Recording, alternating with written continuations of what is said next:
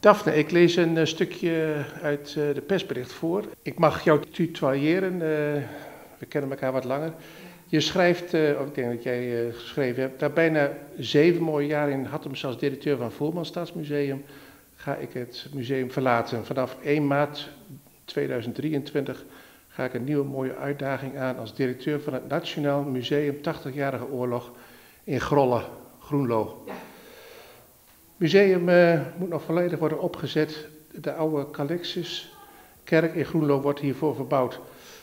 Die kerk, uh, wordt die niet meer gebruikt? Uh, ja, op zich wel. Niet, niet echt speciaal voor, voor de diensten.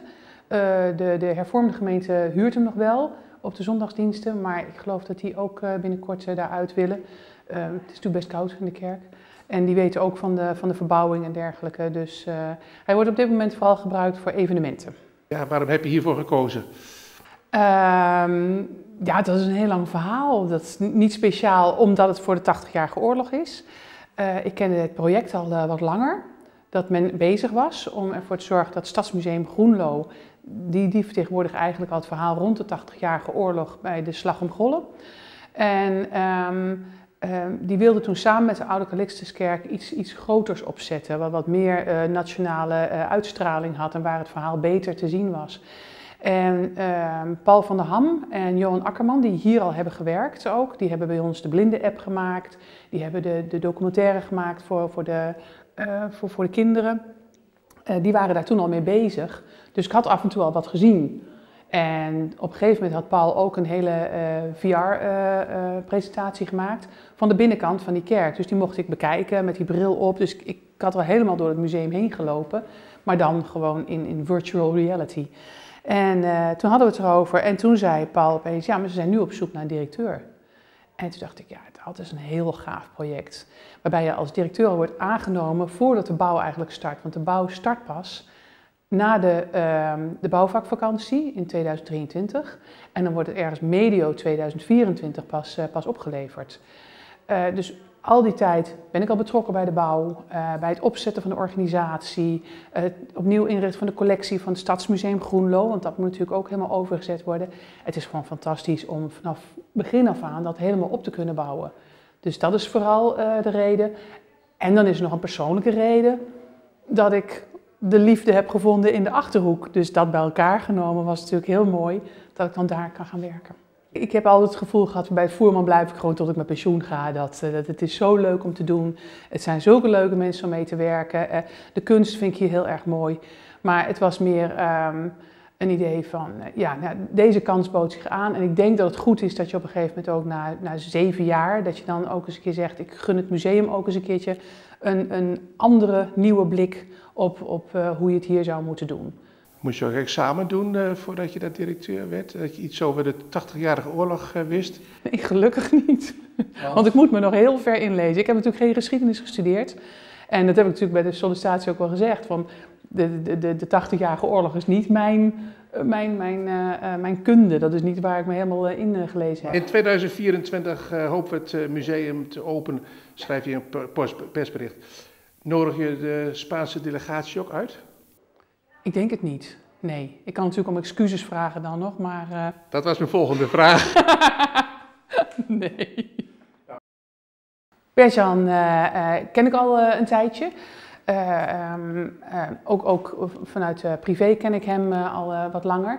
Um, en we hebben eigenlijk een hele tijd hadden we elkaar niet gezien. En toen hadden we elkaar weer ontmoet. Want ik had hem nodig voor bepaalde dingen voor het museum. Want hij heeft een heleboel dingen gedaan voor onze website. Hij is heel goed in ICT, in marketing. Dat zijn echt zijn, zijn skills. Bovendien is hij, denk ik, net zoals ik wel aardig hands-on. Zo van als er wat moet gebeuren, dan uh, heb uh, mouwen op en verven behangen en zulke dingen doen. En um, hij heeft toen een paar keer voor ons spontaan al een keer ingevallen voor kassadiensten omdat we op zondag weer uh, niemand konden vinden. En toen, toen heb ik met hem, had ik het er al over dat ik aan het solliciteren was in Groenlo. En toen had hij zelf aangegeven van, ik zou er ook eigenlijk belangstelling voor hebben. Hij heeft ook nog twee jaar bij een galerie gewerkt. Hij is echt wel in de, de kunstsector, weet hij zich goed te bewegen.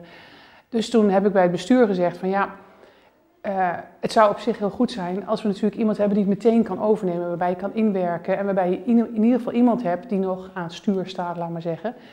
Uh, en of dat nu meteen uh, voor vast is, dat hebben we nog in het midden gelaten. Het is nu eerst op interim basis. En tot wanneer gaan jullie ook alweer kijken? Tot eind juni. Tot eind juni gaan ze kijken hoe het gaat. En dan... Weet je, heeft ze veel vergeten van je cv? nee, ik denk dat het wel, wel aardig klopt, ja. ja. Behalve misschien dat ik nou ja, heel lang erg in, in Heerden gewoond heb en uh, ja, eigenlijk best wel een groot netwerk heb nog in, in deze regio. Dat is ook wel vreselijk uh, handig op zich als je met, uh, ja, met netwerken bezig bent, met museum opbouwen. Dus nee, ik denk dat het wel aardig klopt. Maar er rust wel een zware verantwoording op je schouders. Ja, dat besef ik. Uh, pas geleden hadden we bijeenkomst uh, ook met vrijwilligers, waar ik ook geïntroduceerd werd. En uh, nou ja, daar sprak ik al over letterlijk de erfenis van Daphne overnemen.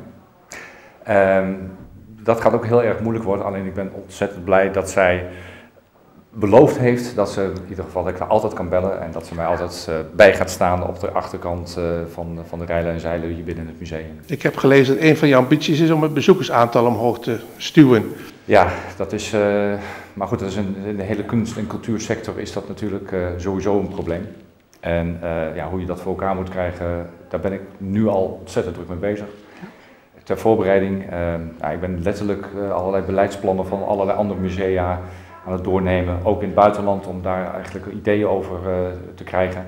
Afspraken met andere musea-directeuren heb ik al gemaakt om even te kijken van hoe pakken die het aan. En ja, dat, dat is ik ben zo iemand die dan een, met, met informatie dan een beeld gaat vormen van hoe we dat zouden kunnen doen. En, uh, en ik denk wel dat dat, uh, dat, dat, dat... Weet je ook hoeveel het aantal bezoekers is geweest uh, dit jaar? dit jaar niet precies, nee. Ik heb daar die cijfers nog niet. Ik weet wel dat, dat er 50% minder was dan het jaar daarvoor. Maar goed, in de coronatijd is natuurlijk... Ja, erg, eigenlijk zijn de cijfers niet meer te vergelijken. Met... En wat is je streven? Wat voor percentage? Um, het mooiste zal zijn, dat zegt iedereen weer van voor corona, dus uh, op 2019 minimaal. Maar ik weet niet wanneer we dat zouden kunnen bereiken. En voor percentage dat omhoog moet, uh, 50% 40 Nou, 50% lager vind ik sowieso al heel erg. Maar goed, normaal de hele cultuursector heeft daarmee te maken, de kunst en ja. musea. Dus iedereen die, die heeft daar ja, een wedstrijd mee te winnen. Dus eigenlijk alles wat je, ja, het liefst wat ik zeg, ik zou voor 2000, uh, eigenlijk op 2019 willen zitten. Maar ik ga je niet over horen over de kennis van de beide voermannen, maar uh, het was... Het is hetzelfde wat, wat je gevraagd hebt eigenlijk aan, aan Daphne over de, over de geschiedenis. Ja. Maar wat, je weet wel iets over de voermannen, heb ik net begrepen van Daphne. Uh, ja, ja, net zoals Daphne, ik moet me ontzettend in gaan lezen. Dus ik heb ook allemaal uh, nou, zo'n stapel boeken al thuis liggen. En... Veel musea hebben het gewoon moeilijk. Uh, hoe staat dit museum ervoor financieel? Uh, wat ik nu gelezen heb vanuit, uh, zonder toelichting trouwens van, uh, van onze penningmeester, maar wat ik van gelezen heb uit de jaarcijfers, staat het museum er gewoon financieel goed voor. We hebben een goede buffer, dus we kunnen voorlopig echt wel vooruit. Alleen nogmaals, de bezoekersaantallen moeten absoluut omhoog. Dat, en de energie? Energielasten zijn zeker met zo'n oud pand heel hoog. Gelukkig, wat ik begrepen heb, was er een vast contract, dus het heeft nog niet zo dusdanig effect. Maar uiteindelijk, uh, nou ja, ook uh, subsidieregelingen van de, van de Nederlandse overheid kunnen ons helpen. Daar hebben we net ook al onderzoek naar gedaan. En waarschijnlijk hebben we daar ook een mogelijkheid om daar een bijdrage voor te krijgen. Daphne is zeven jaar gebleven. Wat, heb je ook al iets in je agenda staan? nou, zoals Daphne ook al zei, ja, ik ben tot, in ieder geval tot eind, eind juni. en dat heeft ook te maken gewoon dat we, ik natuurlijk ook een nieuwe baan, kijken of dat allemaal past. Ook bij de vrijwilligers, maar ook bij het bestuur. En uh, maar zoals het er nu uitziet, ik vind het fantastisch werk, nu al. Uh, ik ben nu al de derde dag geloof ik met Daphne mee aan het lopen. En dat, uh, dat doe ik dan ook letterlijk ook tot, totdat ik het ga overnemen, want zo'n betrokkenheid wil ik wel erbij hebben. En ja, ik, ik zie wel, en, als het ook zeven jaar gaat worden, heel graag. Ik wens je heel veel succes in, in Groenlo met je nieuwe baan. En uh, wellicht komen we eens een keer kijken dan. Ja, heel graag. Natuurlijk zou het heel fijn vinden als iedereen komt kijken. En ik kom natuurlijk sowieso nog terug in het Voerman. Wil je de Hattemers uitnodigen? Ja, tuurlijk. Nou, Hattemers, Kom alsjeblieft naar eh, het Nationaal Museum 80-jarige oorlog in Groenlo. Het wordt hartstikke mooi. Ik ga jullie tegen die tijd allemaal inlichten. En dan vind ik het heel erg leuk als ik jullie allemaal dan weer kan zien.